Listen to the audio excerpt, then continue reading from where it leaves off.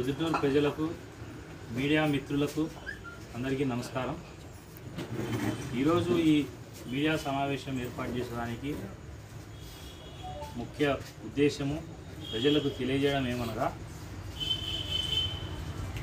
Nandam Subbaiah murder కేసులో ముద్ద అయినటువంటి బెనర్జీపై జరిగినటువంటి దాడిలో ఏ వన్ నిందితుడిగా ఉన్నటువంటి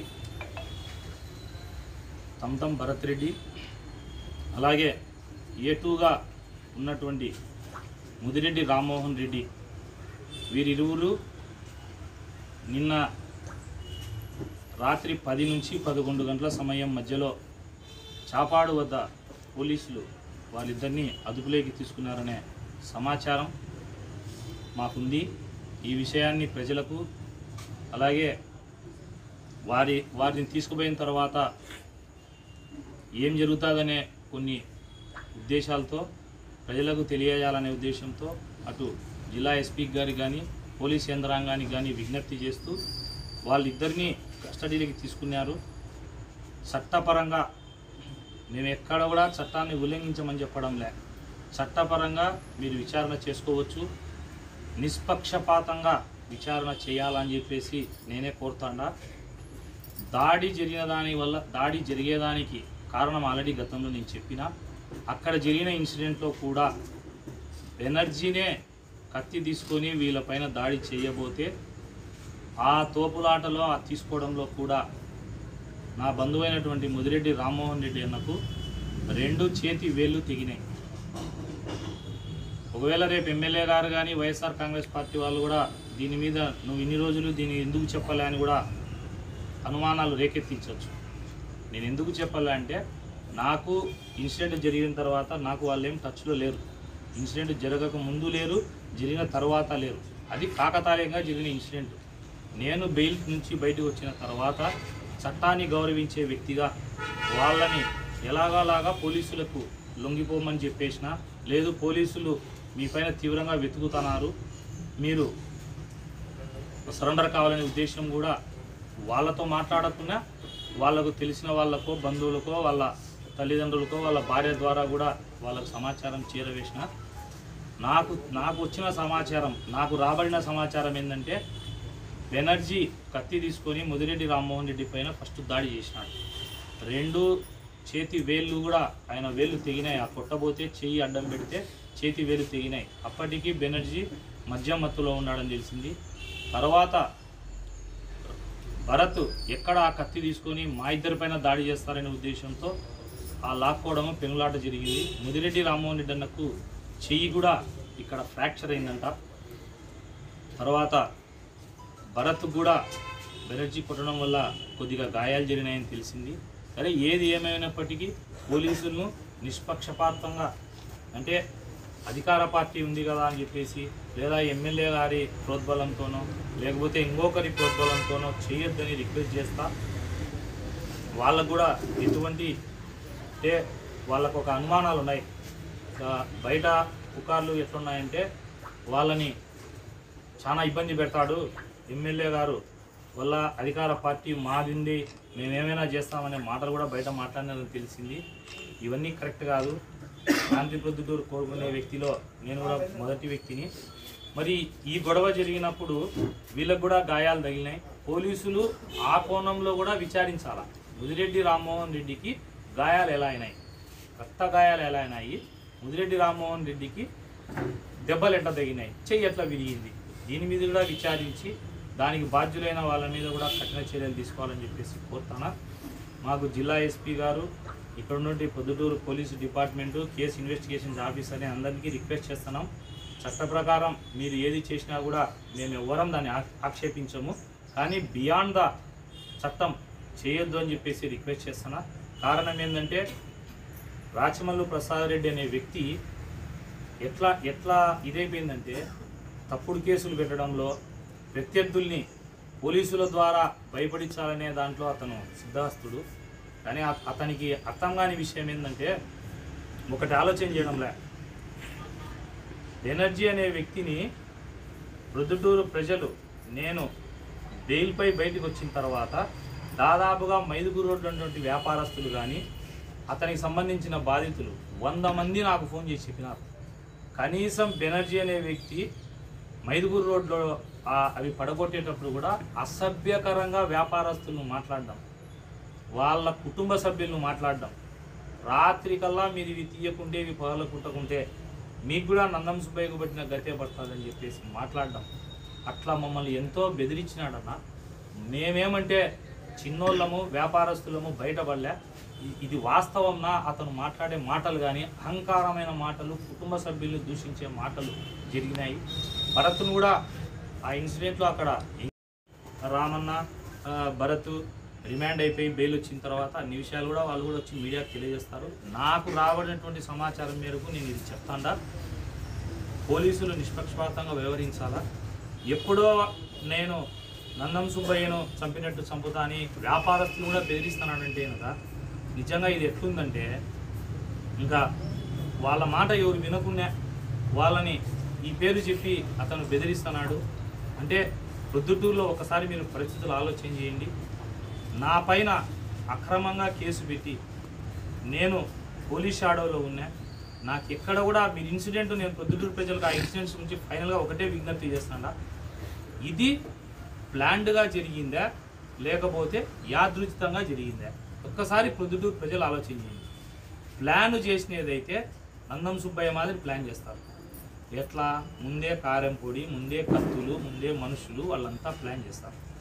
ఎక్కడే కానీ భరత్ దగ్గర కానీ రామన్న దగ్గర కానీ ఎక్కడైనా ఒక ఆయుధం ఉందే అక్కడ బెనర్జీ సంపుతానని చెప్పేసి ఆయుధము తేబోతా అంటే అప్పుడు జరిగిన ఇన్సిడెంట్కు నేను కత్తి ఇచ్చి పంపించిన అంటారు. నేనే వాళ్ళను దళిత నాయకుడు అయ్యి ఎదుగుతా అంటే కనుక ఆయన ఎదుగుదల చూడలేక నేనే ఆయనను చేపియాలంటారు. అతను నాయకుడా రౌడీ షీటరా బెదిరించినాడా బ్లాక్మెయిలరా నేను చెప్పాల్సిన అవసరం లేదు ప్రొద్దుటూరు ప్రజలందరికీ తెలుసు. కొన్ని వేల మంది ఇన్సిడెంట్ ఆడ చూస్తే అన్యాయంగా కేవలం రాజకీయ కక్షతో రాజకీయంగా నేను ఎదుగుతాననే ఉద్దేశంతో నన్ను కేసులో ఇరికిచ్చి కావాల్సికల్లా మళ్ళా దాని తర్వాత జరిగిన పరిణామాలన్నీ మీకు తెలుసు. ఏందేందో మాట్లాడి మళ్ళా తర్వాత నేను బయటకు వచ్చిన తర్వాత ఇదేందో నాకు అర్థం కావడంలే అర్థం కాని విషయం ఇది. ఇది ఒక చిదంబర రహస్యంలాగా ఉంది నోరే విప్పడాయన. ఆయన నోరు మూగబోతుంది. ఏమి మాట్లాడు నేను జైల్లో ఉంటేనో నేను ఎక్కడన్నా లాయర్లకు కలిసి కేసు గురించి చర్చించడానికి ఊళ్ళో లేకుండా పోతేనో పెద్ద పెద్ద మాటలు మాట్లాడతాడు. నేను వచ్చిన నేను ఆయనకు జరిగినది చెప్పిన జైలు దగ్గర చెప్పిన మళ్ళీ ఇప్పుడు కూడా చెప్తానా? ఎమ్మెల్యే గారికి ఇదంతా వదిలేస్తాం. నీకు నాకు డైరెక్ట్గా ఒక్కటే సవాల్ విసురుతాను? Nandam Subbaiah murder case. Banerjee పైన జరిగిన హత్యాయత్నం కేసు. రెండు సిబిఐ ఎంక్వైరీ కోరుదాం. నేను మీరు ఎక్కడ సహకరించమంటే అక్కడ సహకరిస్తాను మీరు ఎక్కడ సైన్ చేయమంటే అక్కడ సైన్ చేస్తా. మీకు సిబిఐ ఎంక్వైరీ రావాలంటే మీకు ప్రొసీజర్ తెలియదు వైజాగ్ పోయి మళ్ళీ లెటర్ ఇవ్వకండి తెలియక మీరు మళ్ళీ వైజాగ్ పోయి లెటర్ ఇస్తారేమో. ఈ రెండు కేసులు సిబిఐ ఎంక్వైరీకి తేండి అట్లా రాదు. మీరు హోమ్ డిపార్ట్మెంట్కి రాసి చీఫ్ హోమ్ డిపార్ట్మెంట్ ప్రిన్సిపల్ సెక్రటరీకి హోమ్ మినిస్టర్కు రాసి ముఖ్యమంత్రికి రాసి ప్రభుత్వ చీఫ్ సెక్రటరీ దాన్ని మాకు ఈ కేసుల్లో నిజానిజాలు తెలియాలా? ఇవి సూపర్ సెన్సేషనల్ కేసులు. వీటిపైన సిబిఐ దర్యాప్తు చేయండి అని చెప్పి సిబిఐ ఢిల్లీ వాళ్ళకు స్టేట్ గవర్నమెంట్ రికమెండ్ చేస్తూ లెటర్ పంపిస్తే ఈ రెండు కేసులు సిబిఐ ఎంక్వైరీకి వస్తాయి. నేను రెడీగా ఉన్నా. సిబిఐ నా పాత్ర ఏందో నేను ఓపెన్గా ఛాలెంజ్. సిబిఐతో అయినా ఎంక్వైరీ చేయించండి. ఆ కేసులో నా పాత్ర ఏందని. రెండవది నందం సుబ్బయ్య కేసు గురించి మళ్ళా మీరు గవర్నమెంట్కు రాసి గవర్నమెంట్ సిబిఐకి పంపించి సిబిఐ మళ్ళా దానికి తెచ్చేదానికి టైం పడుతుంది నందం అపరాజిత ఆల్రెడీ హైకోర్టులో సిబిఐ ఎంక్వైరీకి అని వేసింది. మిమ్మల్ని కౌంటర్ వేయమని ఇచ్చినారు. మీరు కా కౌంటర్ వేయలే. ఆ కౌంటర్లో సిబిఐ ఎంక్వైరీకి నేను సమ్మతం అని చెప్పేసి మీరు కౌంటర్ వేసేస్తే హైకోర్టే డైరెక్షన్స్ ఇస్తారు. ఈ విషయం ప్రొద్దుటూరు ప్రజలు గమనించాలి. నేను ఎందుకు సిబిఐ ఎంక్వైరీ బెనర్జీపై జరిగిన హత్యాయత్నంది కూడా సిబిఐ ఎంక్వైరీ చేయండి. నేను ఒప్పుకుంటాడా. చేయమని అడుగుతాండా. ఎమ్మెల్యే గారినే అడుగుతాండా. చేపించేదానికి నువ్వు సహకరించు అని. మరి నందం సుబ్బయ్య కేసు కూడా సిబిఐ ఎంక్వైరీకి సహకరించాలి కదా. మరి అఫిడవిట్ వేస్తే వచ్చేదానికి వీలే? కాబట్టి ప్రొద్దుటూరు ప్రజలు ఆలోచన చేయండి. కేవలం ఎమ్మెల్యే ప్రస్సు ముందర ఒకటి ప్రెస్ వాళ్ళు ఆఫ్ ద రికార్డ్ అయిపోయినాక ఒకటి ప్రజలు వస్తే ఒకటి చెబుతూ అతను లాస్ట్కు పొరపాటున గన పొరపాటున ఒక్క నిజం చెప్పినా కూడా ప్రజలు నమ్మే పరిస్థితి లేదు పొద్దుటూరు. ఎమ్మెల్యే గారిని నేను ఫైనల్గా రిక్వెస్ట్ చేసేది ఏంటంటే నాకు ఎక్కడా మీ మీద వ్యక్తిగతమైనటువంటి కక్ష లేదు. మీరు కానీ మీ వాళ్ళపైన కానీ నాకు ఎక్కడ కూడా వ్యక్తిగతమైన కక్ష అప్పుడు లేదు ఇప్పుడు లేదు. కేవలం నేను మిమ్మల్ని రాజకీయ ప్రత్యర్థిగానే చూస్తానా? అది ఎందుకో మీరు నన్ను వ్యక్తిగతంగా మీరు నాపైన కక్ష సాధిస్తున్నారు. అది ఎందుకో ఎమ్మెల్యే గారి అంతరాత్మ మీరే ప్రశ్నించుకోండి. ఇది కరెక్ట్ కాదు. శాంతి భద్రుడు నెలకొల్పే దాంట్లో అందరం కలిసి శాంతి భద్రుడు నెలకొల్పుదాం. ఈరోజు ఈ మీడియా సమావేశం యొక్క ముఖ్య ఉద్దేశం ఏంటంటే A one A two arrest అయ్యి పోలీసుల కస్టడీ ఉన్నటువంటి నా తమ్ముడైనటువంటి భరత్ నా బంధువు ముదిరెడ్డి రామ్మోహన్ రెడ్డి ఇద్దరిని కూడా చట్టాన్ని ఉల్లంఘించకుండా చట్ట ప్రకారం మీరు ఏదైనా చేయాలని చెప్పేసి పోలీస్ శాఖను విజ్ఞప్తి చేస్తాను. వాళ్ళ ఇంట్లో భార్య రాజేశ్వరి. భరత్ వాళ్ళ అమ్మ సుబ్బలక్ష్మి. ఇప్పుడు ఒకసారి వాళ్ళు కూడా వాళ్ళ వాదన చెప్తారు. వాళ్ళది కూడా ఒకసారి వినాలని చెప్పేసి. ప్రొద్దుటూరు ప్రజలకు కూడా ఒకసారి వీళ్ళు కూడా వీళ్ళ మనోవేదన వీళ్ళ బాధ చెప్తారు. దయచేసి వినాలని చెప్పేసి రిక్వెస్ట్ చేస్తాను. పోలీస్ శాఖకు రిక్వెస్ట్ చేస్తాను. ఎట్లుంటే అట్లా చేయమని చెప్పేసి రిక్వెస్ట్ చేస్తాను ఎమ్మెల్యే గారి హస్తం ఉంది ఎమ్మెల్యే గారి పాత్ర కూడా ఉంది వాళ్ళ బావమడ్డి పాత్ర కూడా ఉంది అని మీరు ధర్నాలు చేసినారు లోకేష్ బాబుతో ర్యాలీలు కూడా చేసినారు దాంట్లో ఎంతవరకు వాస్తవం ఉంది? నందం సుబ్బయ్య మర్డర్ కేసులో ఎమ్మెల్యే గారి బామర్ది ప్రత్యక్షంగా ఉన్నాడని చెప్పేసి ఎమ్మెల్యే గారి ప్రోద్బలంతో జరిగిందని చెప్పేసి ఆ రోజు కంప్లైంట్ వాళ్ళ భార్య ఆల్రెడీ కంప్లైంట్ ఇచ్చింది స్టేషన్. ఎవరైనా కూడా కంప్లైంట్ ఇచ్చిన తర్వాత ఇప్పుడు నా పైన ఇచ్చినారు నా పేరు యాడ్ చేసినారు నేను లీగల్గా దాన్ని ఫేస్ చేసినాను ఎమ్మెల్యే గారు తన పలుకుబడి ఉపయోగించుకొని ఆయన పేరు కానీ నా బామర్ది పేరు కానీ దాంట్లో ఎక్కించుకోలేదంటే ఏంది? నేను చట్టంలో స్క్రూటనైజ్ అయ్యేదానికి కానీ చట్ట ప్రకారం విచారణకు కానీ చట్టానికి లోబడి నేను ప్రిపేర్ అయినా. మరి ఎందుకు ఎమ్మెల్యే గారు ఆయన పేరు ఆయన బామర్ది పేరు ఎంక్వైరీ చేయించుకోలే అంటే అక్కడ అర్థమవుతుంది ఆయన పాత్ర ఉందా లేదా అని. ముమ్మాటికి ఎమ్మెల్యే గారికి తెలిసే ఎమ్మెల్యే గారి బామర్ది గారి ద్వారానే అది జరిగిందనేసి ప్రొద్దుటూరు ప్రజలకు తెలుసు. బాధితులు ఎవరైతే మంటలు కావాలన్నటువంటి వాళ్ళ కుటుంబ సభ్యులు కూడా పోలీస్ స్టేషన్లో ఆ రోజు అదే ఇచ్చినారు. మీరు ఆ హత్యలో ఆయన పాత్ర ఉంది నమ్ముతారా? నేను నమ్మితే ఏమొస్తుందన్న? కోర్టు కదా నమ్మాల్సింది. కేసులో పేరే పెట్టకుండా అంటే నా నమ్మకం ఏం పని? నా నమ్మకం కాదు కదా ప్రజలకు కావాల్సింది. ఈ ప్రశ్న ఎందుకు వేసినానంటే గతంలో రెడ్డి గారి ఇంటర్వ్యూలో రాజమౌళి ప్రసాద్ రెడ్డి గారి హస్తం లేదు ఆయనకి ఇది తెలియదు ఈ విషయం అని అన్నారు దాని మీద తెలియదు అది మీరు వదలలేదు కదా ఆయన చెప్తాను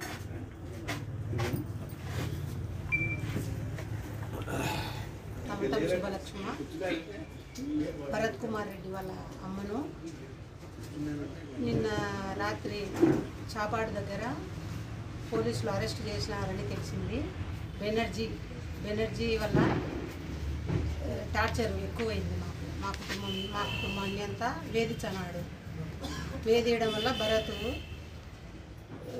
బయటికి పోయింటే భర భరతెంటనే పన్నాడు అతను. భరత్ పడి అక్కడ దాకా తీసుకొచ్చి అక్కడ కలవన్నాడు. కలవడి సంపుతా చేర్చాలని అతనే అన్నీ మాట్లాడి మాట్లాడడం వల్ల నా కొడుకు కత్తి లాక్కోవడం వల్ల వాని చేతిలో కత్తి ఉండేది. ఆ కత్తి లాక్కోవడం వల్ల వీళ్ళకు దెబ్బలు తగిలినాయి. నా కొడుకు చంపాలని ఏ ఉద్దేశము అతనికి లేదు. ఎప్పుడూ అది వాళ్ళు మాట్లాడుకోలే దాని గురించి వాడిని చంపాలా చేయాలి. వీళ్ళు చంపాలని వచ్చినాడు అది ఇది అని ప్రెజర్ చేస్తున్నారు. మాతో కూడా అందరూ మాట్లాడేయాలని చేత. కానీ నా కొడుకు ఎప్పుడూ ఆ ఉద్దేశం లేదు. అది లాక్కోవడం వల్ల వాళ్ళ ఏళ్ళు వాని ఏళ్ళు వాడికి తిగినాయి. మా వాళ్ళకు దెబ్బలు తగినాయి. మా కొడుకు తగినాయి అంటున్నారు.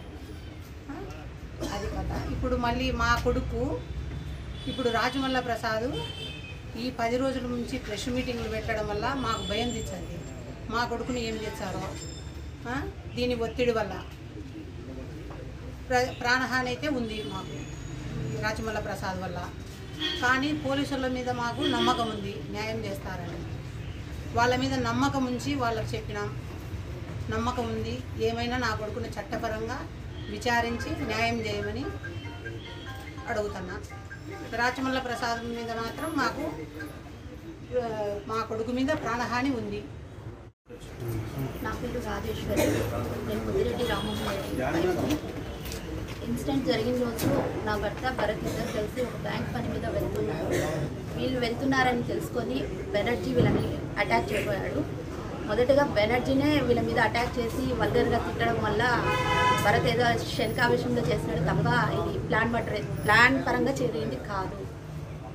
తర్వాత ఇన్సిడెంట్ జరిగేటప్పుడు వాళ్ళిద్దరు గొడవ పడతా అంటే నా భర్త వీళ్ళిద్దరిని అడుకోపోయినాడు అదే టైంలో నా భర్త కూడా హ్యాండ్ ఫ్రాక్చర్ కావడము హ్యాండ్స్ కట్ కావడము వేళ్ళు కట్ కావడము ఇదంతా జరిగింది. ఒకవేళ ఏదైనా ఇది ప్లాన్ ప్రకారం జరిగి ఉంటే వీళ్ళని ఆపాల్సిన ఉద్దేశం నా భర్తకు లేదు. అలాగే నా భర్త ఇంతవరకు ఏ ఎవరితో గొడవ పడే వ్యక్తి కాదు ఏ ఎక్కడ కానీ ఏ కేసు లేదు నా భర్త మీద కేవలం ఈయన ప్రవీణ్ రెడ్డికి సపోర్ట్ చేస్తున్నాడనే ఉద్దేశంతోనే ఈయన మీద ప్రెషర్ పెట్టి కేసు రాయడం జరిగింది.